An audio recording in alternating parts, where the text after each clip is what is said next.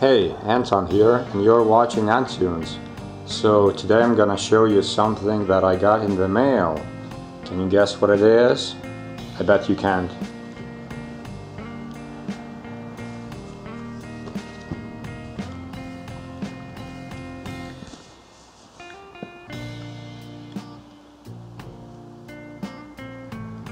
So here we have the address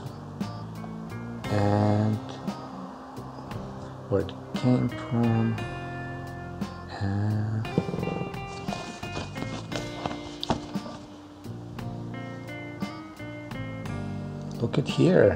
What is his name? John Dilworth. Wow. Do you know who John Dilworth is Trisha? Trisha. Do you know? Do you know who it is? I bet you don't. But you want to find out don't you? For all the people who have never heard about this man, we're gonna find out who he really is.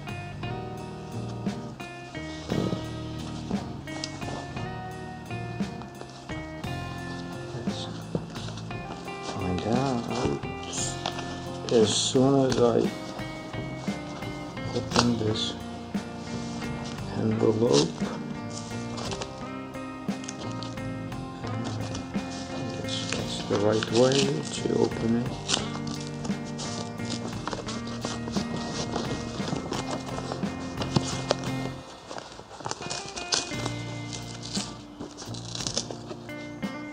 Oh yeah, there's a cardboard inside. Yeah.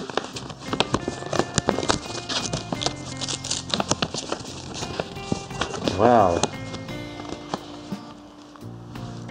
I'm excited.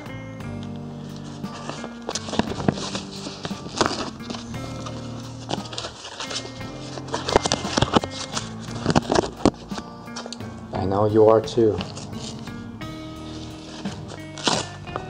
Use your claws to tear this envelope apart. Come on. Come on, scratch it open. Or bite it. Slash it. You just want to smell it, don't you? Wow.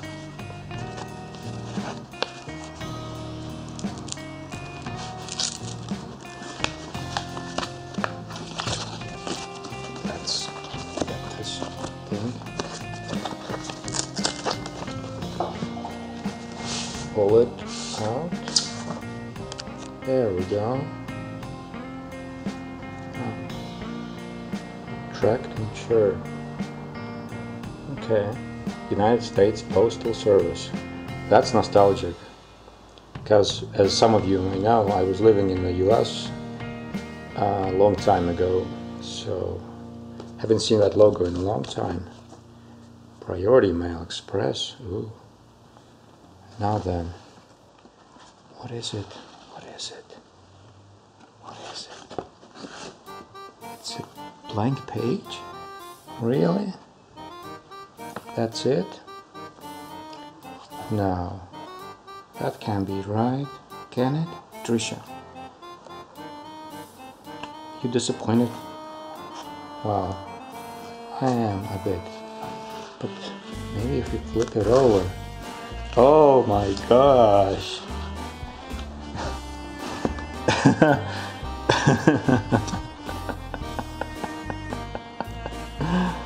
Can you believe that? That is.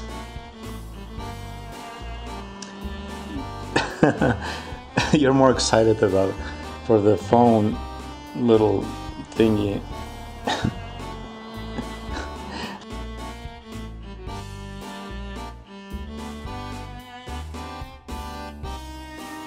well, I have to say that I love this. I love this. he got this little handshake. Mr. Freaks with Freaky Fred from Courage the Cowardly Dog, of course. For some of the young people here on this channel, I guess you have never seen the show, but it used to be quite iconic in the uh, late, I, I think it's late late 90s, early 2000s, probably early 2000s more. Um, it's a pretty special show. Definitely stands out among all the other uh, series at the time, and still to this very day, I would say Courage the Cowardly Dog is probably one of the best or the most the most unique shows out there. Um, we will probably never see this type of show on a children's network ever again because of the censors and my feelings and um, yeah the new environment that the social justice warriors want the TV to be in is probably going to make it impossible to, for us to see something really uh, weird and creepy and maybe offensive to some people. But here we have even a message here to my colleague Anton. So good to know another freak. Stay courageous. John R. Dilworth. Wow. I have to say. Oh, I I just noticed. I just noticed he has this uh, the, the the buzzer. Uh, what is it called in English? The buzzer um, to cut the hair. You gotta love the grin. I mean, it's it's glorious. It's it's exactly as I remember him in the show.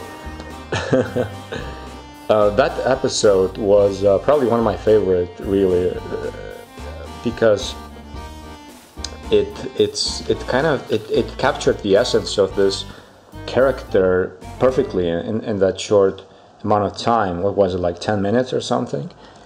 Where where Freaky Fred was uh, shaving Courage the Cowardly Dog, and um, he would he would have this catchphrase. Uh, well, not a catchphrase, but I guess his favorite word was naughty, and that that big wide grin makes it so darn creepy, but at the same time, very, uh, very. Well, what's the correct word? You well, no. I mean, unique is, is kind of a bland word for it. What's a good word for freaky Fred? To have um, a perfect description of him. Maybe yeah, just just perfectly freaky is, is, is the best description to give him. And that name fits him better than any, I think. I also love little, little legs, um, the, the, the, little shoes he has. Compared to his giant head, it, it looks kind of cute, you have to admit that. and also the tall, long legs. I, I identify quite uh, well with this um, character because of, of, the legs. I, I have, I, I, would say, maybe a, little bit abnormally long legs. Even my um, Pilates trainer told me that that I have long legs, and she cut, and she kept bringing it up once in a while, all the time, uh, during our training sessions. But yeah, that is true. I do have quite long legs. Um, can't probably see very well from here, but maybe uh, maybe you can see some photos later um, in full view. But yeah, Mr. Freaks is quite excited that he has met the character now, um, who shares sort of a similar name and the grin and uh, maybe the attitude a little bit of being this um, controversial, to say the least figure in the animated world.